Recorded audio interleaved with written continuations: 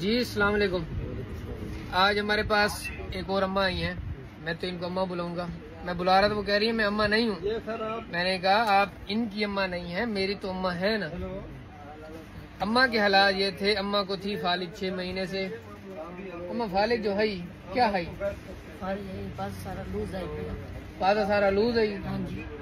تو پھر کہہ نہ سکتے آوے۔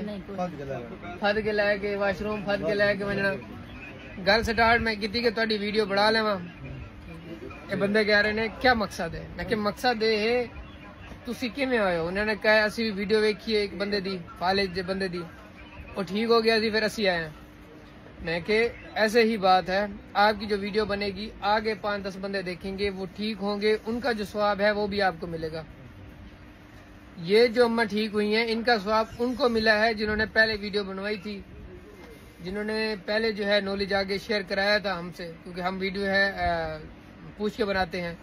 اماں اب ٹھیک ہیں بہتر ہیں بالکل اچھی ہیں۔ اماں نے ایک گلہ دیا ہے کہ مجھے دو مہینے ہو گئے تین مہینے۔ بالکل ٹھیک نہیں ہوئی۔ وہ کہہ رہی ہیں کہ میں ویسے ہو جاؤں جیسے اٹھارہ سال میں میں جمپ مارتی تھی۔ میں نے کہا اماں فالی جانے میں تھوڑا ٹائم لگا ہے تو اب جانے میں بھی تھوڑا ٹائم لگے گا۔ تو ان کا اعتراض یہاں میں نے ختم کر دیا۔ اماں کیا حال ہے؟ ٹھیک ہو؟ ہاں، بہترین؟ ہاں،۔ کھڑے ہو کے دکھو چل کیسے سکتی ہو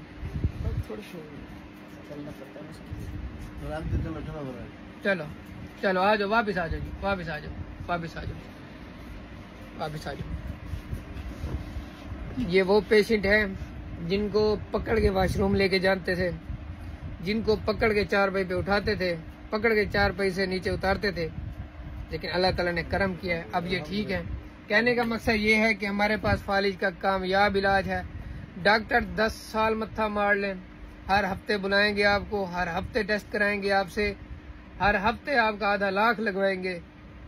ڈرامے کریں گے۔ آپ سے بہت پیسے لیں گے۔ ان کے جو ہے نا، کیا بتاؤں میں اب آپ کو؟ اسپتال ماربلیں لگی ہوں گی ان میں۔